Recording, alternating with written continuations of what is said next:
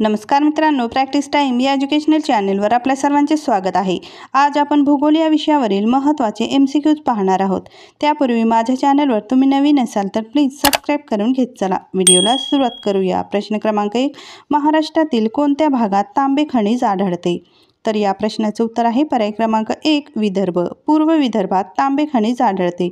नागपूर जिल्ह्यात तांबे हे खनिज पुलार तांबेखाणी कोलारी इत्यादी ठिकाणी आढळतात. पुढचा प्रश्न पाहणार आहोत. पुस्तकांचे गाव म्हणून शासनाने कोणते गाव निवडले आहे? तर या प्रश्नाचे उत्तर आहे पर्याय क्रमांक दोन भिलार. भिलार हे सातारा जिल्ह्यातील महाबळेश्वर तालुक्यातील गाव आहे. आशिया खंडातील आणि भारतातील पहिलेच पुस्तकांचे गाव ठरले आहे. तसेच पहिले ब्रिटनमधील ऑनवे गाव आहे. पुढचा प्रश्न पाहूयात. कोणता जिल्हा सह्याद्री व त्याच्या शाखा रांगेत येत नाही? तर या प्रश्नाचं उत्तर आहे पर्याय क्रमांक चार वर्धनगड.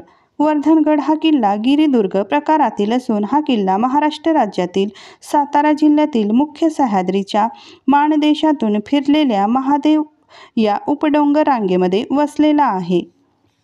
पुढचा प्रश्न पाहूयात. महाराष्ट्राच्या समुद्र किनाऱ्याची लांबी किती किलोमीटर आहे? तर या प्रश्नाचं उत्तर आहे पर्याय क्रमांक एक सातशे वीस किलोमीटर आहे. सर्वात जास्त रत्नागिरी या जिल्ह्याला समुद्रकिनारा लाभलेला आहे. पुढचा प्रश्न पाहूयात. महाराष्ट्रातील खालील किल्ल्यांच्या दक्षिणेकडून उत्तरेकडे क्रम लावा. तर या प्रश्नाचं उत्तर आहे पर्याय क्रमांक तीन. ड ब अ आणि क म्हणजेच प्रतापगड पुरंदर सिंहगड दौलताबाद. हा क्रम योग्य आहे. पुढचा प्रश्न पाहूयात. उजनी धरण कोणत्या नदीवर बांधले आहे? तर या प्रश्नाचं उत्तर आहे पर्याय क्रमांक तीन. भीमा नदीवर बांधले आहे. उजनी धरण हे सोलापूर जिल्ह्यातील आहे. उजनी धरण उजनी धरणाच्या जलाशयाला यशवंत सागर म्हणूनही ओळखले जाते. पुढचा प्रश्न पाहूयात. नाथसागर हे धरण कोणत्या नदीवर बांधले आहे? तर या प्रश्नाचं उत्तर आहे पर्याय क्रमांक चार. गोदावरी नदीवर बांधण्यात आले आहे. जायकवाडी धरणाला नाथसागर असे देखील म्हणतात. जायकवाडी धरण हे महाराष्ट्रातील गोदावरी नदीवरील औरंगाबाद जिल्ह्यातील पैठण तालुक्यातील वस्तीच्या ठिकाणी असलेले मातीचे धरण आहे. पुढचा प्रश्न पाहूयात. मराठवाड्यात एकूण किती जिल्हे आहेत? तर या प्रश्नाचे उत्तर आहे पर्याय क्रमांक तीन. एकूण आठ जिल्हे आहेत. पुढचा प्रश्न पाहूयात. मराठवाड्यातील वीज निर्मिती केंद्र टिंबटिंब या ठिकाणी आहे. तर या प्रश्नाचं उत्तर आहे पर्याय क्रमांक चार. परळी या ठिकाणी वीज निर्मिती केंद्र आहे. पुढचा प्रश्न पाहूयात.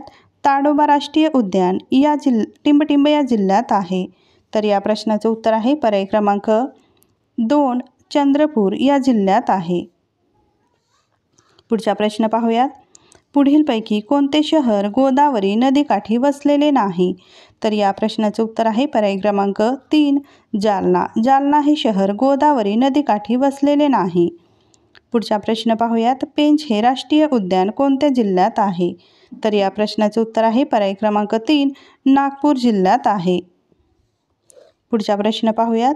माझगाव डॉक हे काय आहे? तर या प्रश्नाचं उत्तर आहे पर्याय क्रमांक एक जहाज बांधणी केंद्र आहे. माझगाव डॉ डॉक हे एक जहाज बांधणी केंद्र आहे. पुढचा प्रश्न पाहूयात. खालीलपैकी कोणती जोडी योग्य आहे? तर या प्रश्नाचं उत्तर आहे पर्याय क्रमांक दोन माथेरान रायगड. ही जोडी योग्य आहे. ताडोबा हे अभयारण्य चंद्रपूर जिल्ह्यात आहे. पुढचा प्रश्न पाहूयात. महाराष्ट्र राज्यात सहकारी तत्वावर पहिला साखर कारखाना खालीलपैकी कोणत्या जिल्ह्यात प्रथम सुरू झाला? तर या प्रश्नाचं उत्तर आहे पर्याय क्रमांक चार अहमदनगर या जिल्ह्यात प्रथम सुरू झाला. गंगा गंगापूर प्रकल्प कोणत्या नदीवर आहे? तर या प्रश्नाचं उत्तर आहे पर्याय क्रमांक चार गोदावरी नदीवर आहे. पुढचा प्रश्न पाहूयात. संयुक्त महाराष्ट्र राज्याची स्थापना कोणत्या दिवशी करण्यात आली? तर या प्रश्नाचे उत्तर आहे. पर्याय क्रमांक तीन एक मे एकोणीसशे साठ रोजी महाराष्ट्र राज्याची स्थापना झाली. पुढचा प्रश्न पाहूयात. महाबळेश्वर हे थंड हवेचे ठिकाण कोणत्या जिल्ह्यात आहे? तर या प्रश्नाचे उत्तर आहे. पर्याय क्रमांक दोन सातारा जिल्ह्यात आहे. पुढचा प्रश्न मेळघाट अभयारण्य कोणत्या प्राण्यांसाठी प्रसिद्ध आहे? तर या प्रश्नाचे उत्तर आहे. पर्याय क्रमांक तीन मेळघाट अभयारण्य वाघांसाठी प्रसिद्ध आहे. पुढचा प्रश्न पाहूयात. महाराष्ट्रातील सर्वात उंच शिखर कोणते? तर या प्रश्नाचे उत्तर आहे पर्याय क्रमांक एक कडसुबाई कडसुबाई हे महाराष्ट्रातील सर्वात उंच शिखर आहे. त्याची उंची सोळाशे शेहेचाळीस मीटर आहे. पुढचा प्रश्न पाहूयात. महाराष्ट्रातील कोणत्या जिल्ह्याला सर्वाधिक समुद्रकिनारा लाभलेला आहे? तर या प्रश्नाचे उत्तर आहे पर्याय क्रमांक एक रत्नागिरी. या जिल्ह्याला महाराष्ट्रातील सर्वाधिक समुद्रकिनारा लाभलेला आहे. पुढचा प्रश्न पाहणार आहोत. महाराष्ट्रातील चपराडा अभयारण्य कोणत्या जिल्ह्यात आहे? तर या प्रश्नाचे उत्तर आहे पर्याय क्रमांक तीन गडचिरोली जिल्ह्यात आहे. पुढचा प्रश्न तारापूर येथे कोणता प्रकल्प आहे? तर या प्रश्नाचे उत्तर आहे पर्याय क्रमांक चार अणुऊर्जा प्रकल्प आहे. पुढचा प्रश्न विदर्भातील पंढरपूर म्हणून दिलेल्यांपैकी कोणते ठिकाण प्रसिद्ध आहे? तर या प्रश्नाचे उत्तर आहे पर्याय क्रमांक दोन धापेवाडा. धापेवाडा हे ठिकाण प्रसिद्ध आहे. पुढचा प्रश्न पांढरे सोने कशास म्हटले जाते? तर या प्रश्नाचे उत्तर आहे पर्याय क्रमांक तीन कापूस. कापसाला पांढरे सोने म्हटले जाते. पुढचा प्रश्न पाहूयात. कोकणातील नद्या टिंबटिंब वाहिनी आहेत. तर या प्रश्नाचे उत्तर आहे पर्याय क्रमांक दोन कोकणातील नद्या या पश्चिम वाहिनी आणि तीव्र उताराच्या असतात. पुढचा प्रश्न अर्नाळा सागरी किल्ला टिंबटिंब जिल्ह्यात आहे. तर या प्रश्नाचं उत्तर आहे पर्याय क्रमांक चार अर्नाळा सागरी किल्ला हा पालघर जिल्ह्यात आहे. पुढचा प्रश्न पाहूयात कसारा घाट खालीलपैकी कोणत्या राष्ट्रीय महामार्गावर आहे? तर या प्रश्नाचं उत्तर आहे पर्याय क्रमांक तीन मुंबई नाशिक या राष्ट्रीय महामार्गावर हे घाट आहे. पुढचा प्रश्न अहमदनगर जिल्ह्यातील प्रसिद्ध रंधा धबधबा कोणत्या नदीवर आहे? तर या प्रश्नाचं उत्तर आहे पर्याय क्रमांक दोन प्रवरा. प्रवरा नदीवर आहे.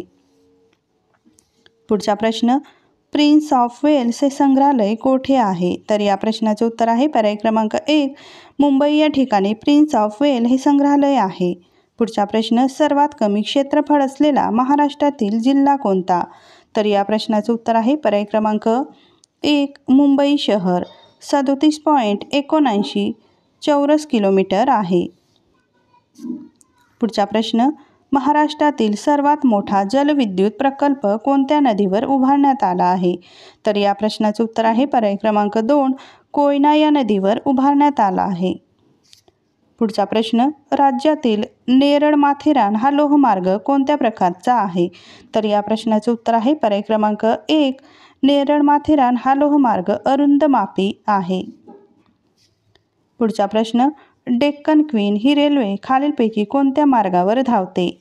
तर या प्रश्नाचं उत्तर आहे पर्याय क्रमांक दोन पुणे मुंबई. या महामार्गा या मार्गावर सॉरी या मार्गावर ही डेक्कन क्वीन रेल्वे धावते. पुढचा प्रश्न नागपूर जिल्ह्याचा कोणत्या दिशेला भंडारा जिल्हा आहे? तर या प्रश्नाचं उत्तर आहे पर्याय क्रमांक तीन पूर्व दिशेला आहे. पुढचा प्रश्न पाहणार आहोत. खालीलपैकी कोणता जिल्हा विदर्भातील नाही?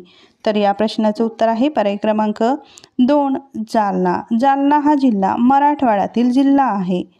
पुढचा प्रश्न तारापूर विद्युत प्रकल्प कोणत्या जिल्ह्यात आहे?